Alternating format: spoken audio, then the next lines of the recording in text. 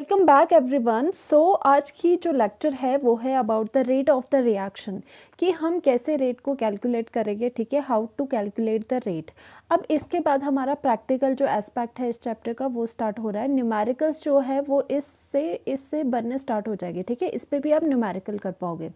Rate of the reaction क्या था? Rate of the reaction होती है बेसिकली लेम इन टर्म्स में, होती है स्पीड ऑफ़ द रिएक्शन मतलब कि कोई रिएक्शन है सपोज़ वो कितनी तेज़ी से होगी? तो जो वो जो स्पीड होती है, वही आप वही कहलाती है rate of the reaction okay so rate of the reaction क्या होगी? It is defined as change in concentration और प्रेशर ऑफ़ रिएक्टेंट और product with respect to time इस डेफिनेशन को समझने से पहले हम करेंगे बात स्पीड की, ठीक है? देखो, अभी तक आपने क्या पढ़ा हुआ है? आपने स्पीड के बारे में कहाँ पढ़ा है? कि स्पीड एंड डिस्टेंस वाला जो फॉर्मूला होता था स्पीड एंड डिस्टेंस वाला फॉर्मूला क्या होता था? Speed equals to distance upon time मतलब चेंज इन डिस्टेंस जितना हो रहा है डिवाइडेड बाय टाइम ठीक है? तो सपोज़ अगर मैं बोलती हूँ, इसमें स्पीड कैसे निकाली जाती थी? सपोज़ एक कार है, ठीक है? सपोज़ एक कार है, ठीक है? सपोज़ एक कार है, वो कैसे जा रही है? वो कैसे जा रही है, वो इस डायरेक्शन में जा रही है। सपोज़ यहाँ पर time is equal to zero था, ठीक है? सपोज़ ये यहाँ से शुरू कर रहे हैं हम टाइम यहाँ पे इज़ इक्वल टू ज़ीरो था। अगर यहाँ नहीं करना तो यहाँ से कर लो, ठीक है? Time is equal to zero था यहाँ पर। यहाँ पर जाके time is equal to three second हुआ सपोज़ ठीक है? तो हमने निकालना है कि स्पीड इसकी इस इंटरवल में कितनी होगी। तो स्पीड के लिए क्या है? डिस्टेंस भी यहाँ दिया है। डिस्टेंस सबसे पहले क्योंकि ये रेस्ट पे थी मतलब ये चलना स्टार्ट नहीं किया था। Suppose distance equals to zero है यहाँ और डिस्टेंस कवर्ड यहाँ पे कितना है? कितना डिस्टेंस इसने कवर किया? सिक्स मीटर करा। ओके तो आप कैसे निकालते थे? इसमें स्पीड कैसे निकालते थे? फाइनल माइनस इनिशियल डिस्टेंसेस को भी आप माइनस कर देते थे six minus zero final value minus initial upon में टाइम में क्या करोगे? फाइनल जो टाइम है आपके पास माइनस इनिशियल तो यहाँ पे three second minus zero second है। तो आपके पास क्या हो जाएगा? टू ठीक है? टू आपके पास इसकी स्पीड हो जाएगी जो कि मीटर पर सेकेंड में होगी। ये बताने का मतलब क्या है? कि जिस तरह से आप इस तरह से निकालते हो variation of distance with respect to time देखते हो, अगर किसी आपको कार वगैरह की स्पीड निकालनी हो, ठीक है? उसी तरह से अगर हम in case of the reaction अगर हमें रिएक्शन की अगर स्पीड हमें निकालनी हो तो भी हम वेरिएशन देखेंगे। बट अब स्पीड में क्या हो जाएगा? यहाँ पे रिएक्शन के केस में यहाँ डिस्टेंस नहीं आएगा। तो इस रिएक्शन की स्पीड आप किस तरह से देखोगे? आप देखोगे change in change in concentration ठीक है विद रिस्पेक्ट टू टाइम मतलब नीचे डिवाइड में आप टाइम करोगे। मतलब कितना चेंज हो रहा है कॉन्सेंट्रेशन का विद रिस्पेक्ट टू टाइम वो कहलाएगी आपकी स्पीड ऑफ़ द रिएक्शन और वही होता है रेट ऑफ़ द रिएक्शन अब दो चीज़ें होती है। अगर तो आपके पास एक्वस मीडियम गिवन है फ़ेज़ एक्वस है मतलब जो भी आपके रिएक्टेड एंड प्रोडक्ट है, वो एक्वस में गिवन है तो उनके कॉन्सेंट्रेशन आप लोगे। ठीक है तो जो ये चेंज है, वो कॉन्सेंट्रेशन में दोगे। पर ऐसी भी रिएक्शंस होती है जिसमें गैशियस स्पीसीज होती है, ठीक है? गैशियस स्पीसीज रिएक्ट करती है। तो अगर गैस है, ठीक है? गैशियस स्पीशी है अगर स्पीशीज़ है अगर तो क्या हो जाएगा? तो आप यहाँ पे लोगे प्रेशर ठीक है? गैस के केस में आप लोगे प्रेशर नॉट कॉन्सेंट्रेशन याद रखना। तो change in concentration with respect to time कह लो, या फिर change in pressure of the species with respect to time कह लो, ठीक है? वो हो जाएगी आपकी रेट ऑफ़ द रिएक्शन अब रिएक्शन किस तरह से हो रही है? Suppose A plus B give rise to C हो रही है, ठीक है? अब मुझे बताओ स्पीड हम कैसे डिटरमाइन करेंगे इस रिएक्शन की? स्पीड का क्या मतलब है? आपको पता है रिएक्शन में क्या होता है? रिएक्टेंट्स क्या होते हैं? रिएक्टेंट्स कम होने लगते हैं एंड प्रोडक्ट बनना शुरू कर देता है। अगर हम ऐसे करें अगर हम ऐसे कहें कि रेट क्या होता है? रेट होता है कि कितना चेंज आ रहा है, कितना चेंज आ रहा है in the concentration of the reactants में, कि कितनी डिक्रीज़ हुई कॉन्सेंट्रेशन यहाँ पे, या फिर हम कह सकते हो कि कितना इंक्रीज़ हुआ प्रोडक्ट यहाँ पे, कितना प्रोडक्ट कितने फास्टली प्रोडक्ट बना। तो दोनों तरह से रेट निकाल सकते हो। पहला कैसे? रिएक्टेंट के टर्म में कैसे रेट निकलेगा? कि रिएक्टेंट को देखो कि कितनी स्पीड से जो इसकी कॉन्सेंट्रेशन है, वो डिक्रीज़ कर रही है। कितनी स्पीड से ये, इनकी जो कॉन्सेंट्रेशन है, वो कम हो रही है। ठीक है? उसी से तो स्पीड बताए, बता पाएगी आप रिएक्शन की। और दूसरा क्या आ जाएगा कि कितनी स्पीड से प्रोडक्ट आपका बन रहा है? तो दोनों ही तरीके होते हैं, उससे आपकी पूरी की पूरी रिएक्शन की स्पीड पता चलती है। ये आपको एक थ्योरेटिकल मैंने लेआउट दिया है कि किस किस तरह से हम ये रेट क्यों पढ़ रहे हैं स्पीड क्यों पढ़ रहे हैं और कैसे स्पीड डिटरमाइन हो सकती है रिएक्टेंट्स की हेल्प से एंड प्रोडक्ट की हेल्प से। क्योंकि रिएक्टेंट जितनी तेज़ी से कम होगा, उतना ही तेज़ी से पूरी रिएक्शन होगी। या फिर कह सकते हो, अगर आपको इसकी पूरी रिएक्शन का स्पीड चाहिए तो आप ये सिंपली ये देख सकते हो कि कितनी स्पीड से आपका प्रोडक्ट बन रहा है, ठीक है? तो यही चीज़ यहाँ पे लिखी गई है। तो again rate of the reaction जो कि स्पीड ऑफ़ द रिएक्शन होती है, वो क्या होता है? It is defined as change in concentration या फिर प्रेशर देखो, यहाँ पे क्यों लिखा है चेंज इन कॉन्सेंट्रेशन या फिर प्रेशर क्योंकि स्पीशी आपकी जो रिएक्शन में है वो कुछ भी हो सकती है, ठीक है? अगर एक्वस वाली कोई स्पीशीज है, आपकी एक्वस वाली रिएक्शन हो रही है तो कॉन्सेंट्रेशन लोगे। अगर आपकी गिवन जो रिएक्शन है, उसमें गैस के पार्टिकल्स है गैस मॉलिक्यूल्स है रिएक्ट हो रहे तो आप प्रेशर में चेंज देखोगे, ठीक है? It is defined as the change in concentration और प्रेशर किसके ये चेंज देखने हैं? ऑफ़ रिएक्टेंट या फिर product with respect to time तो वो कहलाता है रेट ऑफ़ द रिएक्शन तो बोलने का क्या मतलब है? सिर्फ़ यहाँ पे देखो, यहाँ पे अब डिक्रीज या इंक्रीज नहीं बोला। यहाँ पे सिर्फ़ लिखा है चेंज हमने जर्नलाइज वर्ड यूज़ करा। हमने जर्नलाइज वर्ड यू क्यों यूज़ करा? क्योंकि चेंज तो कैसा भी हो सकता है। अब देखो जो रिएक्टेंट्स के केस में होगे रिएक्टेंट्स के केस में क्या होगा? डिक्रीज होगी कॉन्सेंट्रेशन प्रोडक्ट के केस में क्या होगी कॉन्सेंट्रेशन इंक्रीज होगी। इसीलिए हमने जर्नलाइज लिखा कि change in concentration with respect to time is the rate of the reaction okay clear है यहाँ तक? अब आता है कि फॉर एक्वस स्टेट या फिर एक्वस फेस में अगर आपकी रिएक्शन है तो आपको कॉन्सेंट्रेशन यूज़ करनी है। मतलब जो चेंज देखना है, वो कॉन्सेंट्रेशन में देखना है। ओके जैसे यहाँ पर है। अगर आपका जो रिएक्शन है, वो गैशियस है, जैसे नाइट्रोजन हाइड्रोजन रिएक्ट कर रही है, उस केस में उन सच टाइप ऑफ़ रिएक्शन जो कि गैशियस रिएक्शन है, उसके केस में जो चेंज देखोगे, उसमें गैशियस में आप कॉन्सेंट्रेशन नहीं लेते हो। ठीक है सोल्यूशन चैप्टर में भी आपने नोट किया होगा। You will use the pressure तो आप प्रेशर यूज़ करोगे इसमें, ठीक है? तो रेट ऑफ़ द रिएक्शन फिर यहाँ पे क्या आ गई? According to this definition rate of the reaction या speed of the reaction is equal to the change in concentration of reactant या फिर प्रोडक्ट मतलब दोनों की कॉन्सेंट्रेशन में चेंज हम इंक्रीज या डिक्रीज नहीं बोल रहे, हमने जर्नलाइज कर दिया कि change in concentration of reactant या फिर product divided by change in time ठीक है, कि टाइम में आपका क्या चेंज हो रहा है। तो इस तरह से हमने ये देख लिया। अगर और प्रिसाइसली इसको आपको रेट ऑफ़ द रिएक्शन को अगर आपको बताना पड़े तो क्या आएगा rate of the reaction can be expressed as मतलब स्पेसिफिकली बिल्कुल प्रिसाइसली अगर आपको डेफिनेशन देखनी है in terms of the reactant and product तो वो डेफिनेशन क्या बनेगी?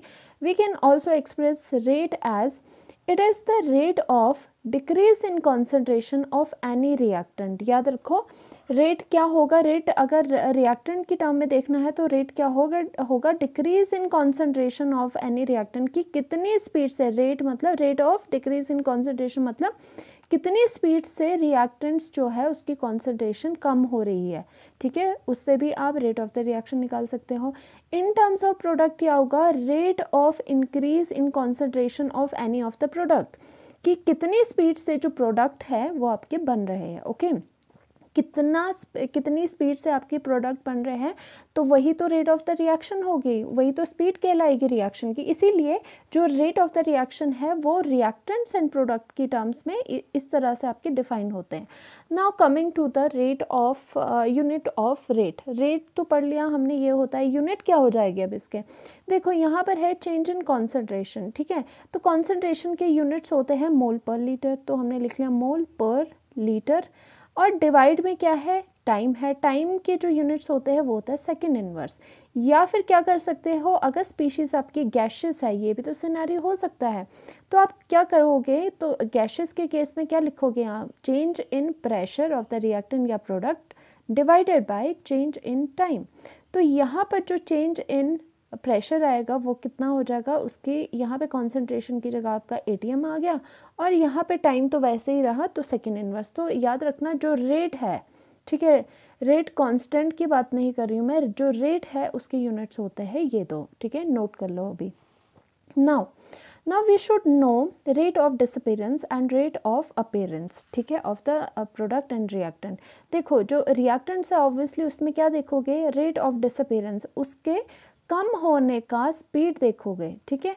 एंड रेट ऑफ़ अपेयरेंस क्या हुआ? प्रोडक्ट के बनने की स्पीड ठीक है? क्योंकि हम कह ही रहे हैं कि जो रेट ऑफ़ द रिएक्शन है, वो इन दोनों पे डिपेंड करता है। मतलब वो आप इन दोनों से रेट ऑफ़ द रिएक्शन निकाल सकते हो। तो हमने सोचा क्यों ना rate of disappearance and rate of appearance of the किसका? प्रोडक्ट का निकाला जाए। हमेशा याद रखना, देखो रेट ऑफ़ डिसअपेरेंस रिएक्टेंट का ही होगा। क्योंकि क्या हो रहा है, अगर ये रिएक्शन हो रही है, ठीक है?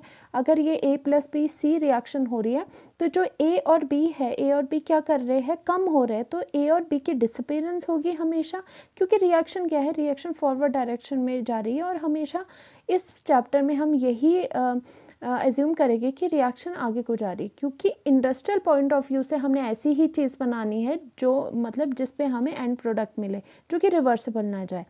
तो यहाँ पर क्या हो रहा है, जो रिएक्टेंट्स हो गए, वो हमेशा डिक्रीज़ हो गए एंड जो प्रोडक्ट होगा, वो हमेशा इंक्रीज़ होगा। इसीलिए बोला rate of disappearance of reactant and rate of appearance of product वो क्या चीज़ होती है? These terms are very very important इन्हें कैसे लिख सकते हो? आर ओ डी भी लिख सकते हो उसे ठीक है? तो बार बार आपको इतना बड़ा बड़ा नहीं लिखना। आर ओ डी भी लिख सकते हो इसको। क्या लिखोगे? आर ओ, ए लिख सकते हो, ठीक है? और डिसअपेरेंस किसका होगा पता होना चाहिए? रिएक्टेंट का है अपेयरेंस किसकी होगी? ऑब्वियसली प्रोडक्ट की है, ये अंडरस्टूड है आपको, ठीक है? तो लेटर सपोज़ इसको समझने के लिए हमने सपोज़ किया एक रिएक्शन है जिसमें आर से जो रिएक्टेंट है वो प्रोडक्ट में जा रहे हैं ओके ये हमने देख लिया इसमें। अब हम क्या करेंगे?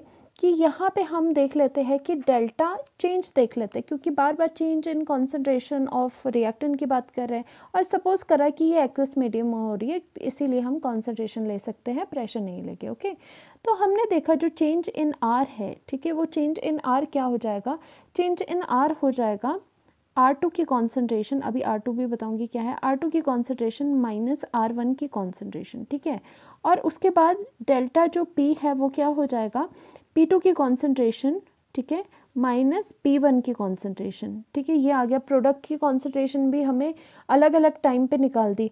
और उसके बाद जो डेल्टा टी है चेंज इन टाइम वो भी आप कह रहे हो T two minus T one अब देखो, अब ये वाली चीज़ें क्या है जो मैंने यहाँ पे लिखी है? ये है जो वन वन वाले देख लेते हैं, जो R one and P one है, वो चीज़ें क्या है? कॉन्सेंट्रेशंस हैं, ठीक है? कॉन्सेंट्रेशंस है। और ये तो आपको पता है किस किस की कॉन्सेंट्रेशन है? रिएक्टेंट एंड प्रोडक्ट की concentrations at time at time T one जब आपका टाइम जो है वो टी वन है तो कॉन्सेंट्रेशन रिएक्टेंट की इतनी होगी और प्रोडक्ट की इतनी होगी। और जो आर टू है एंड पी टू है, ये सब चीज़ें आपको समझाने के लिए कर रहे हैं, इससे हम डिराइव करेंगे इसका एक्सप्रेशन और ये भी क्या है? ये है कॉन्सेंट्रेशंस ठीक है? Concentration at time at time T one जबकि टाइम टी टू है सॉरी टी टू है टाइम ठीक है? ये आपकी हो गई और आपको ये पता है स्क्वायर ब्रैकेट्स क्या है? आप यहाँ लिख लो स्क्वायर जो ब्रैकेट्स है, ठीक है? ब्रैकेट्स है आर कॉन्सेंट्रेशन ठीक है कॉन्सेंट्रेशन को रिप्रेजेंट करने के लिए आपका स्क्वायर ब्रैकेट लगाया जाता है। So now question arises what is rate of disappearance and rate of appearance ठीक है रेट ऑफ़ डिसअपेरेंस को हम लिखेंगे R O D rate of disappearance हमने लिख लिया एंड रेट ऑफ़ अपेरेंस क्या होगा आपका? आर ओ डी क्या होगा अब ये हमें पता लगाना है। एंड आर ओ जो ए है रेट ऑफ़ अपेयरेंस है, वो क्या है, वो हमें पता लगाना है ओके okay? जो रेट ऑफ़ डिसअपेयरेंस है, वो क्या होता है? सबसे पहले समझ लो, जो रेट ऑफ़ डिसअपेयरेंस होता है, वो ऑब्वियसली किसका है? बार बार बोलने की ज़रूरत नहीं है ऑफ़ रिएक्टेंट क्योंकि रिएक्टेंट्स जो होते हैं, वो डिसअपेयर हो जाते हैं, वो ख़त्म हो जाते हैं बाय द टाइम ठीक है? क्योंकि वो कंज्यूम हो रहे होते हैं, आपको प्रोडक्ट बनाना होता है। तो रेट ऑफ़ डिसअपेयरेंस मतलब स्पीड ऑफ़ डिसअपेयरेंस ऑफ़ जो रिएक्टेंट होगी, वो क्या होगी? रेट हमेशा क्या होता है? चेंज होता है विद रिस्पेक्ट टू टाइम तो जो रेट ऑफ़ जो डिसअपेरेंस ऑफ़ रिएक्टेंट्स है, वो क्या होगा? Decrease in decrease in concentration concentration of reactant divided by time taken कितना टाइम लगा? या चेंज इन टाइम ठीक है? टाइम टेकन तो ये हो जाएगा। वैसे ही R O A rate of appearance of the product अगर आपको निकालना है तो आप क्या लिखोगे? Increase in concentration increase in concentration of product divided by time taken divided by time taken कि कितना टाइम लगा, ठीक है? कितना टाइम लगा और उसकी कॉन्सेंट्रेशन इंक्रीज होने में। पी की कॉन्सेंट्रेशन मतलब प्रोडक्ट की कॉन्सेंट्रेशन इंक्रीज होने में। तो आप एक और चीज़ है यहाँ पे इसमें क्या आ जाएगा? चेंज को अगर बताते हो चेंज बताते हो डेल्टा से, ठीक है? आगे हम करेंगे दो तरह के रेट रेट होते हैं average rate and instantaneous rate तो अभी हम, अभी जस्ट यही समझ लो this is the change for R ठीक है? आर की कॉन्सेंट्रेशन और नीचे डेल्टा टी लगा दिया आपने। और उसी तरह से R O A rate of appearance क्या हो जाएगा? Change in concentration of P जो प्रोडक्ट था divided by change in T अब now comes the important thing अब ये क्या हो जाएगा? इसमें आपको पता है जो rate of disappearance of reactant है। देखो रिएक्शन में जो रिएक्टेंट है, वो क्या हो रहे हैं? दे कीप्स ऑन डिक्रीजिंग तो अगर डिक्रीज हो रहे हैं तो क्या होगा? यहाँ पर आपको पता है कि जो रिएक्टेंट है, वो डिक्रीज हो रहे हैं तो इसका मतलब यहाँ पे ये नेगेटिव वैल्यू होगी। जो ये आर है, जो ये रेट है, ये पूरी चीज़ है, वो this is a negative value और जो यहाँ पर रेट है, हम क्या निकाल रहे हैं? हम रेट निकाल रहे हैं। रेट क्या होती है? रेट होती है स्पीड तो स्पीड कभी भी नेगेटिव नहीं हो सकती ऐसे, ठीक है? आप ऐसे नहीं बोल सकते कि मैं फोर्टी की स्पीड से माइनस फोर्टी की स्पीड से चला रहा हूँ। ठीक है, आप माइनस में नहीं बोलते स्पीड को। So for that purpose only हमें यहाँ पे खुद ब खुद अपनी वजह से हमने यहाँ पे माइनस लगाया। माइनस जस्ट क्या डिनोट करता है कि यहाँ पर यहाँ पर जो डेल्टा आर है, उसकी नेगेटिव में वैल्यू आएगी, ज़रूर आएगी नेगेटिव में वैल्यू क्योंकि क्या कर रहा है, ये डिक्रीज़ कर रहा है। जो यहाँ पे कॉन्सेंट्रेशन है रिएक्टेंट की, वो कीप्स ऑन डिक्रीजिंग तो ये नेगेटिव वैल्यू आ गई। तो इस नेगेटिव को पॉजिटिव करने के लिए हमने एक और नेगेटिव हमने खुद लगा दी, क्योंकि नेगेटिव नेगेटिव क्या हुआ? एंड में जाके पॉजिटिव हो गया तो इसका मतलब रेट पॉजिटिव हो गया। हमें रेट को हमेशा पॉजिटिव रखना होता है, इसीलिए हमेशा याद रखना, जब भी रिएक्टेंट का केस में आर ओ डी लिखोगे rate of rate of disappearance लिखोगे, हमेशा हमेशा यहाँ पे नेगेटिव आएगा आएगा ज़रूर, ठीक है? तो दूसरी तरफ़ से आप बताओ रेट ऑफ़ अपेयरेंस में अपेयरेंस ऑफ़ द प्रोडक्ट में माइनस आएगा या नहीं आएगा? नो माइनस नहीं आएगा यहाँ पे, क्यों? क्योंकि क्या है, यहाँ जो डेल्टा पी है, जो पी की कॉन्सेंट्रेशन है, वो क्या है, वो इंक्रीज़ हो रही है। पी की कॉन्सेंट्रेशन अगर इंक्रीज़ हो रही है तो दैट मीन्स वो क्या होगी? वो नेचुरली वो पॉजिटिव में होगी। तो हमें यहाँ पे अगर नेगेटिव साइन लगा भी देते हैं तो तो वो ओवरऑल नेगेटिव बन जाएगा। बट जो हमारा ये रेट है रेट हमने ये निकाला रेट शुड बी पॉजिटिव और पहले ही ये पॉजिटिव है तो हमें ये कुछ यहाँ पे लगाने की ज़रूरत नहीं पड़ी। तो इसका मतलब आपने क्या देखा कि जो rate of disappearance of reactant से सबसे पहले वो क्या होता है कि कितना डिक्रीज़ आ रहा है कॉन्सेंट्रेशन ऑफ़ रिएक्टेंट में विद रिस्पेक्ट टू टाइम और उसको कैसे लिखोगे आप? उसको लिखोगे डेल्टा ठीक है? Change in concentration of reactant with respect to time and उसमें क्या करोगे? उसमें लगाओगे यहाँ पर नेगेटिव का साइन ठीक है नेगेटिव का साइन लगेगा that means this is the rate of this is the rate of disappearance ठीक है? डिसअपियरेंस ऑफ़ एनी रिएक्टेंट आपका ये होता है। और फिर से यहाँ लिखा गया है negative sign is multiplied here because delta R is a negative quantity आपको पता है जो चेंज आ रहा है, क्योंकि डिक्रीज़ कर रही है जो आपकी रिएक्टेंट की कॉन्सेंट्रेशन है तो इसका मतलब ये डेल्टा आर तो नेगेटिव क्वांटिटी होनी चाहिए, ठीक है? As concentration of reactant is decreasing so to make the rate positive we have to put negative sign before this expression just यही एक मकसद था आपका कि आपने नेगेटिव साइन लगाया। Similarly rate of appearance of product क्या हो जाएगा? आर ओ आर ओ ए भी लिख सकते हैं उसको, ठीक है? और इसको आर ओ डी डिसअपेरेंस का ओके ये क्या हो जाएगा? Increase in concentration of P कि कितनी इंक्रीज कर concentration of product divided by time taken कि कितना टाइम लगा उसको इंक्रीज होने में? ठीक है तो ये कितना आएगा? ये आएगा आपका चेंज इन कॉन्सेंट्रेशन ऑफ़ ये पी आ जाएगा डिवाइडेड बाय टी ओके और इसमें कोई साइन नहीं आएगा, लगाना चाहो तो बताने के लिए पॉजिटिव लगा सकते हो, नहीं भी लगा रहे हो तो अंडरस्टूड है that this quantity is positive and hence the rate of disappearance is also positive तो ये क्या है? Rate of sorry rate of appearance of the product तो हमने ये दो तो फार्मूला यहाँ से निकाल दिए। और अब हम यहाँ पे इसको लिखेंगे कि rate of disappearance of reactant हमने क्या निकाला? रिएक्टेंट है तो भाई हमेशा नेगेटिव तो लगा दो, ठीक है? कुछ ना ना कुछ सूझे तो सबसे पहले नेगेटिव लगा दो, ठीक है? उसके बाद जो भी रिएक्टेंट है, ठीक है? कोई भी रिएक्टेंट हो सकता है, सभी के लिए ये एप्लीकेबल है विद रिस्पेक्ट टू टाइम ठीक है? और इसमें rate of appearance of product में क्या हो जाएगा? चेंज इन द प्रोडक्ट ठीक है? डिवाइडेड बाय डेल्टा टी हो जाएगा। ठीक है, ये आपके पास दोनों चीज़ें आ गई, आपके फॉर्मूला आ गए। नाउ अब हम देखते हैं रेट ऑफ़ डिसअपेरेंस भी आ गया रेट ऑफ़ अपेरेंस भी आ गया। अब क्वेश्चन आता है how we will write the rate of reaction या इसको आर ओ आर लिख लो। ठीक है बार बार कौन लिखेगा रेट ऑफ़ रिएक्शन ठीक है, इसलिए ये छोटे छोटे टर्म्स हैं, वो सीख लो R O R R O A and R O D how to write the rate of reaction अब देखो, इसका रेट ऑफ़ रिएक्शन अगर हमने लिखना है तो उसमें ये जो रेट ऑफ़ डिसअपेरेंस और अपेरेंस है, इनका बहुत ज़्यादा काम है, जो कि आपको अभी देखने को मिलेगा ओके okay? सपोज़ आपने एक रिएक्शन लिख ली सपोज़ एक ये बैलेंस्ड केमिकल रिएक्शन है। एक और इंपॉर्टेंट बात, जब भी आप रेट ऑफ़ द रिएक्शन निकाल रहे हो तो the reaction should be balanced reaction ठीक है? आपकी बैलेंस्ड केमिकल इक्वेशन होनी चाहिए। तो सपोज़ कर लिया हमने this is a balanced chemical reaction तो क्या हो जाएगा? This is a chemical balanced this is a balanced chemical reaction तो आपने सबसे पहले देखा कि रेट ऑफ़ द रिएक्शन कैसे निकालते हैं। तो उसके लिए हम फर्स्टली देखेंगे, चलो हम ये देख लेते हैं रेट ऑफ़ रेट ऑफ़ ठीक है रेट ऑफ़ डिसअपियरेंस कैसे निकालोगे? डिसअपियरेंस ठीक है? अपियरेंस रेट ऑफ़ जो डिसअपियरेंस है, ठीक है ऑफ़ किसका? ऑफ़ ए का, ठीक है?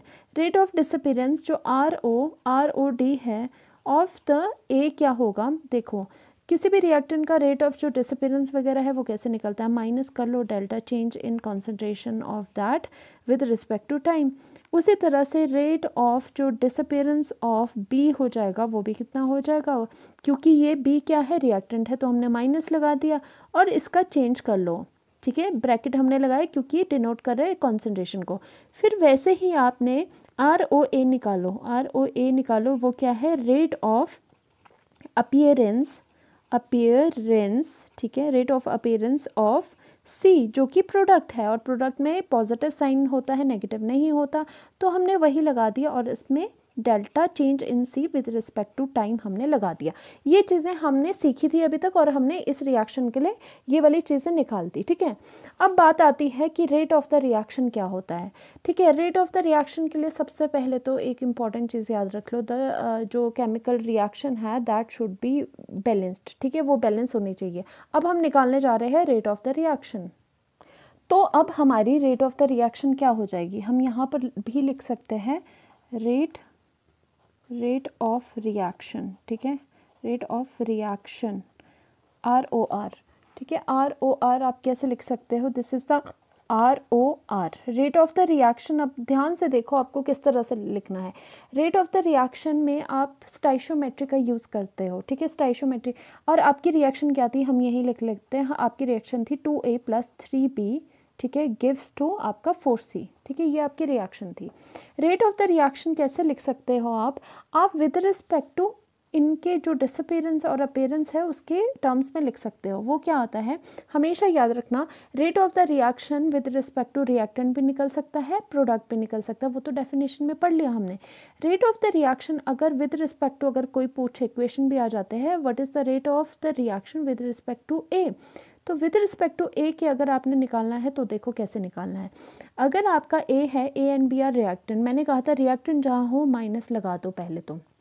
ओके okay, बट एक और चीज़ इंपॉर्टेंट ये आती है कि जब रेट ऑफ़ द रिएक्शन अगर रेट निकाल रहे हैं पूरी रिएक्शन का तो आपको स्टाइशोमेट्री कंसीडर करनी पड़ेगी। यही फ़र्क है डिसअपेरेंस के रेट्स में और पूरे रिएक्शन के रेट में।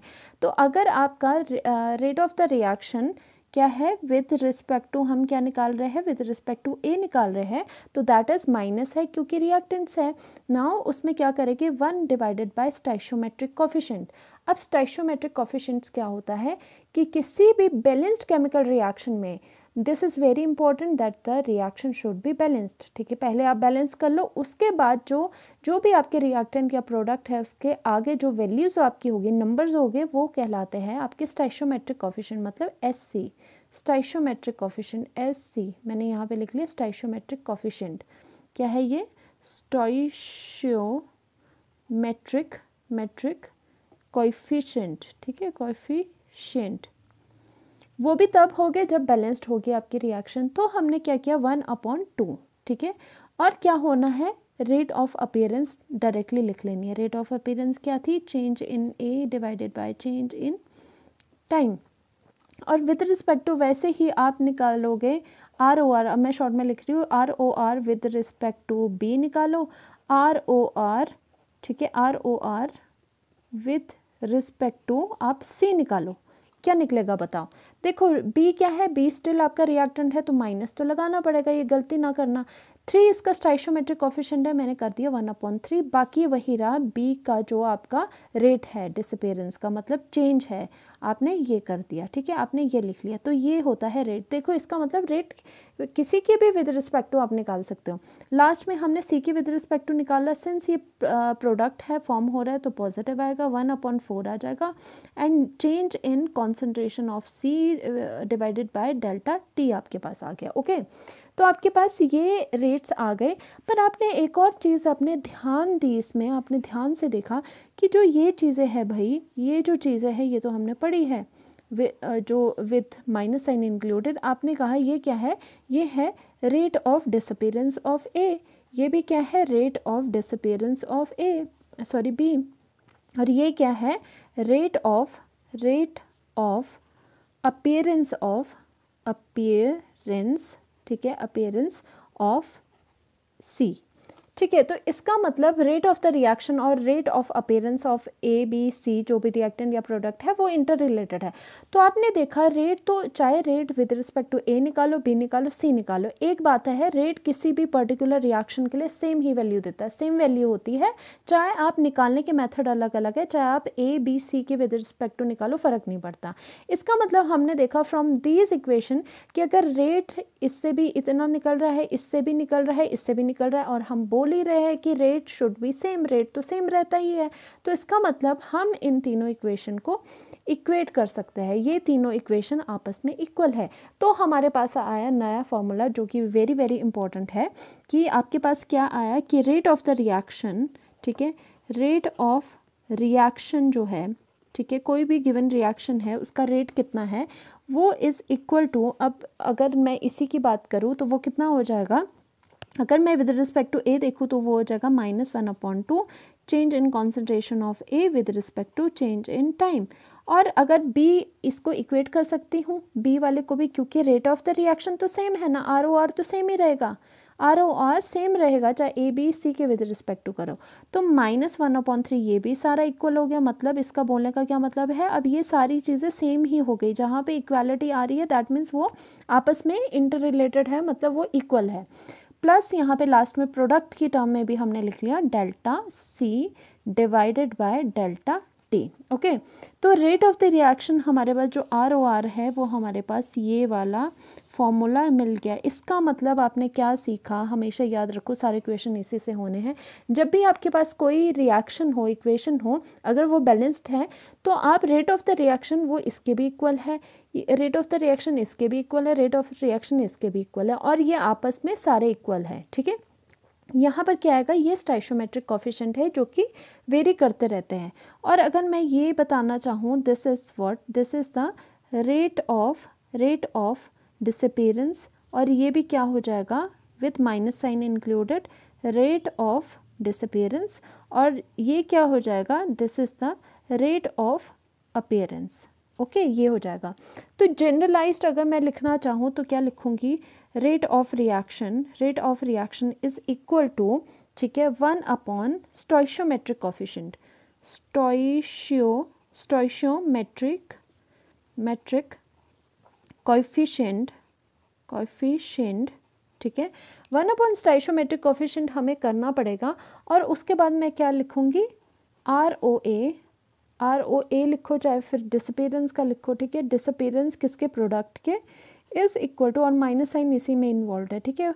और इसमें क्या आ जाएगा? वन डिवाइडेड बाय स्टाइशोमेट्रिक ठीक है? स्टाइशोमेट्रिक कॉफिशेंट ठीक है? Into rate of rate of appearance तो इसका मतलब ये आपका फुल फॉर्मूला बन गया और जो भी आपके क्वेश्चन सॉल्व होने हैं, वो आपके इसी से क्वेश्चन सॉल्व होने हैं। तो होपफुली आपको अच्छा लगा होगा ये लेक्चर इसके बाद नेक्स्ट लेक्चर में हम करेंगे इसके न्यूमेरिकल्स और शॉर्ट ट्रिक की किस तरह से आपके जो न्यूमेरिकल्स है, वो सॉल्व हो गए। Thank you so much do like and subscribe to my channel